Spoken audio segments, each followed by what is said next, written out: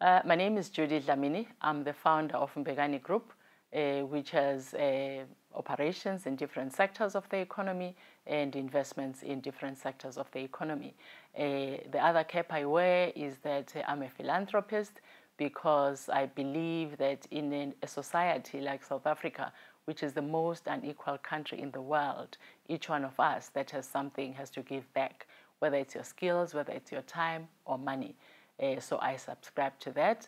The other thing that uh, enters my titles is being an author. And uh, that happened uh, by accident uh, because I came across uh, these amazing leaders. for my first book, it was a conversion of my thesis, and I named the book Equal but Different. It showcases different women leaders, the challenges they faced, and there's so much to learn from their life journeys. And it's not just South African women leaders, it's uh, also international leaders. And uh, two men are included in the book uh, for their belief in uh, the empowerment of women. And uh, the reason why they are there is to just uh, showcase what a man who supports women is and why they do it. And the objective is that other men emulate them.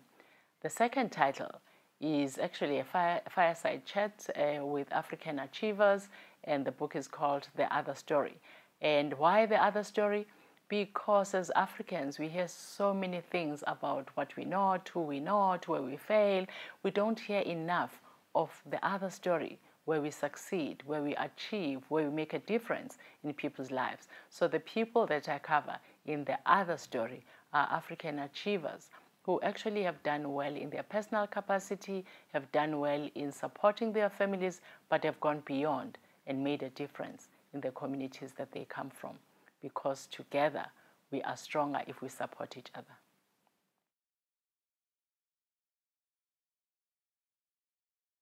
A fearless leader is a, leader who is not without fear but has less fear. Uh, she's authentic.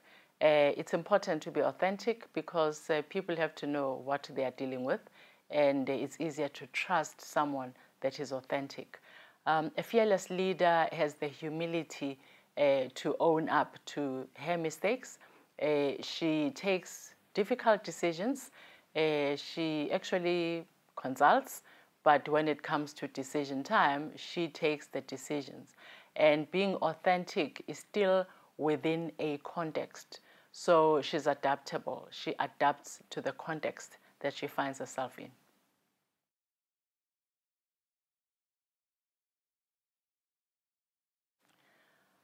I've led in different scenarios because of the many hats that I wear. Uh, as a chairman of a board in a transforming South Africa, uh, there are certain issues that you have to grapple with, and uh, they tend not to be comfortable issues and you need to be fearless when you deal with them because unless you deal with them, no one else is going to, and everyone else follows the leader when it comes to tough questions and tough uh, conversations. Uh, one of those is ensuring that we become the South Africa that people died for, which is transformed, both in terms of race and gender, especially and uh, when you tackle those difficult uh, conversations, uh, it's important that respect is the driver. You challenge respectfully uh, because once respect loses, uh, actually leaves the boardroom, then there's a problem and you can't achieve much. What's important as a fearless leader in situations like that is that you are driven by the bigger picture, and you are driven by mutual respect and not being liked because I promise you, uh, some of these difficult conversations mean that you are going to have people that are not going to like you, which is fine, but as long as they respect you. I've led a small uh, startup uh, where, as research shows, failure rate is high. So there are certain things you have to do in a certain way, but it's important that the people that you lead are part of the team. They are committed uh, to the organization uh, as opposed to just being scared of the leader. So as a fearless leader, you need to remove fear from your, the people that you lead you need to make make sure that they are committed to the cause and the way to do that is that you take them on board in a way that protects them but also makes them uh, see the vulnerable side of you as a person and uh, making sure that they know what's happening in the business uh, while you protect them from some of the difficult uh, uh, decisions that you have to make and the difficult position that the company may be in.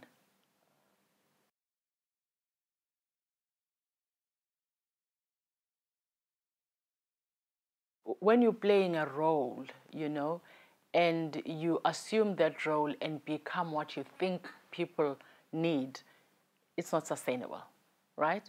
The only thing that's sustainable is authenticity, self respect, and respect for others on the one side.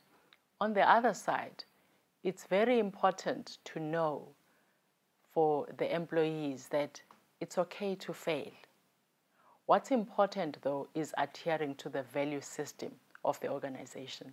Understanding what the value system is, adhering to the value system, but give them a chance to think on their feet.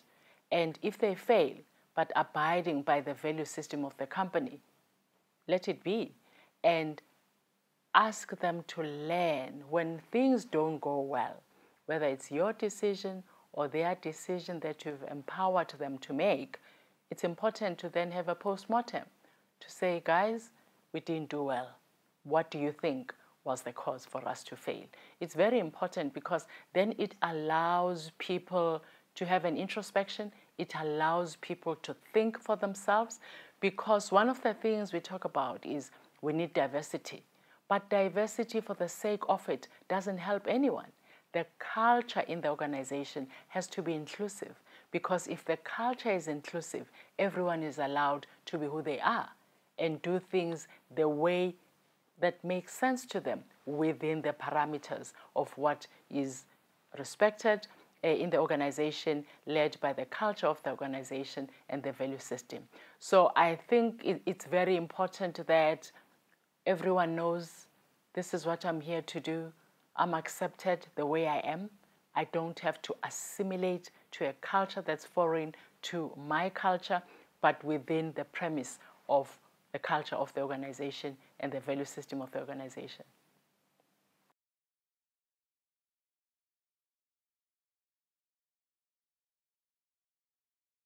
Um, what I've learned is that when you vulnerable people understand where you're coming from. One of the things that I always do, no matter where I am, whether I'm a CEO, whether I'm a chairman, is to make sure that in every meeting, each and every person has a voice. Because when people have a voice, they get committed to the cause, they get committed to the vision. If they don't understand something, Give them the opportunity to ask. Give them the opportunity to have their say. And it's important that even if you don't agree with what they say, take it on board and explain why it's not going to work and allow them to counter. It's so important that when you say, I don't think it will work because of the following, then you allow them to say, push back. What do you think? The other thing that I've learned which I always say to my employees, is that when there's a problem, don't come and say, I have a problem. Come and say, I have a problem. These are the solutions that I think are going to work. What do you think? Because already I want to know that you are thinking, you know, and then it's easier to understand the thinking mechanism on your side for me to be able to add to that. And collectively, we can come with a solution. I think it's very important to know that no one knows it all. And leaders do make mistakes, they do take bad decisions, but leaders have to take the decisions. That's why you're there.